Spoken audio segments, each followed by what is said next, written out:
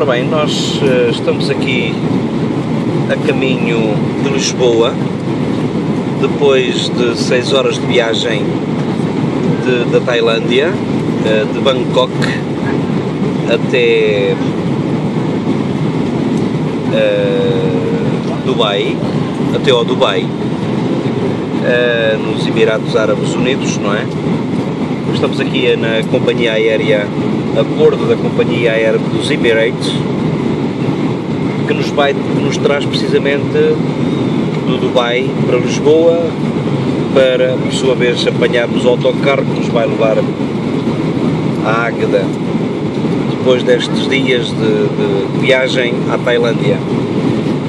E então, obviamente que isto andamos com os horários completamente descontrolados, porque a Tailândia são 6 horas a mais do que em Portugal e neste momento, a caminho de Lisboa, ainda estamos a reger aqui no avião uh, pelo, pela diferença horária da Tailândia.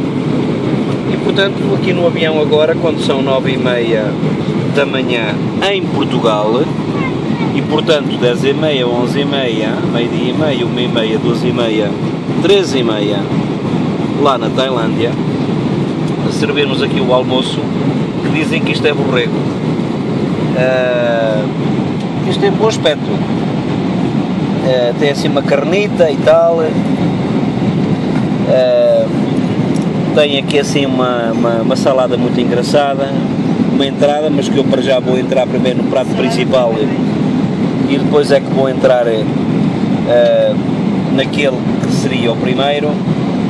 E pronto, isto é comida de avião, uma pessoa come como assim todo encolhidinho, uh, mas já antes nos serviram aqui uns aperitivositos, já antes nos serviram aqui uns aperitivositos, pronto, olha, foi esta a reportagem aqui no avião. Não, não não só, não. Que nos traz até Lisboa.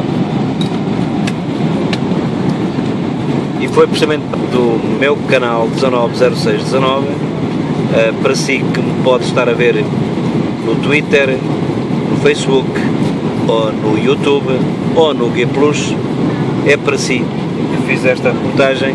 Peço desculpa por não estar uh, devidamente apresentável mas de facto isto já há muitas horas que andamos em viagem e com jet lag, com, um desfazamento é horário comparativamente àquele que nós estamos habituados enorme, portanto é natural que esteja com esta cara de assustar.